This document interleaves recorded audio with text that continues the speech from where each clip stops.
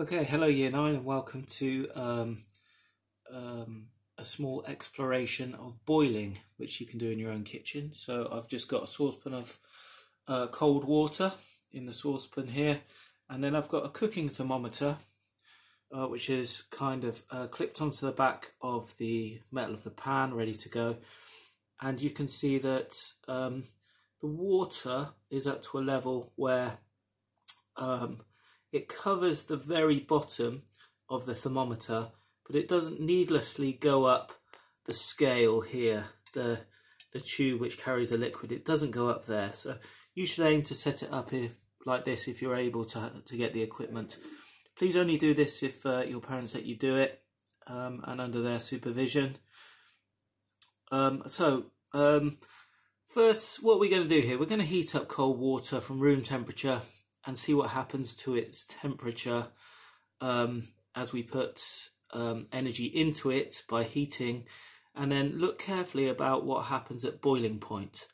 Now, um, really important to notice that the unit of temperature we're using here, uh, if you can see this old cooking thermometer that I got off my mum, is not in degrees centigrade in degrees centigrade, I'm sure you all know that uh, that the um, melting point of water is uh, zero degrees, and the boiling point of water is 100 degrees. And that isn't the case here because we're not working in degrees Celsius. We are working in a different unit, a far less popular unit in terms of science, and it's Fahrenheit. Um, and if we go over to our table that I've got here, ready to, to take my data in, um, I've just noted down that the boiling point of water is um, 212 Fahrenheit. So what we're going to do is we're going to heat it up from room temperature um, around 70 degrees and we are going to observe carefully about what happens to the um, temperature change around boiling point. Now, just a couple of considerations for doing it. So, uh, those of you who um, who are able to do it might have a thermometer similar to mine.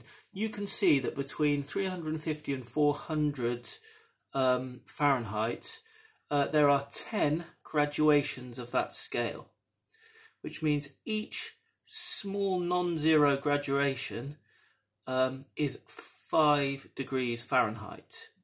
So that's not great, is it? So we call this the resolution in science, the smallest non-zero uh, reading a measuring instrument can take.